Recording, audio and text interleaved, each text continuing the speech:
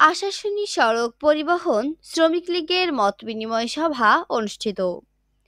আশাশুনি উপজেলার বুধাটা ইউনিয়নের পাইথালি সড়ক পরিবহন শ্রমিক লীগের অফিসে মত বিনিময় সভা অনুষ্ঠিত হয়েছে।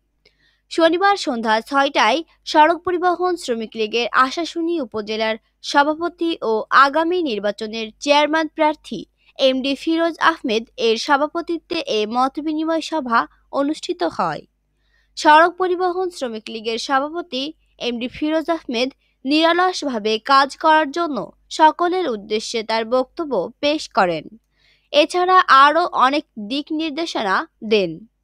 উক্ত মত বিনিময় সভায় এমডি ফিরোজ আহমেদ এর সভাপতিত্বে উপস্থিত ছিলেন সাংগঠনিক সম্পাদক সেলিম হোসেন, শিক্ষা বিষয়ক সম্পাদক রইস উদ্দিন মাস্টার, চাপড়া ইউনিয়নের সভাপতি মোহাম্মদ সাইফুল ইসলাম, যুগ্ম সম্পাদক মোহাম্মদ সাইফুল ইসলাম সহ সভাপতি মোহাম্মদ ফেরদৌস হোসেন, দপ্তর সম্পাদক মোহাম্মদ মিজানুর রহমান, কুল্লা ইউনিয়নের সভাপতি মোহাম্মদ কুদ্দুস সর্দার সহ সভাপতি মোহাম্মদ সিদ্দিক সর্দার, সাধারণ সম্পাদক শ্রী সুমন ঘোষ, সেলিম সর্দার, সাংবাদিক লিঙ্কন আসলাম, জাহাঙ্গীর আলম, মুক্তার মোড়ল প্রমুখ।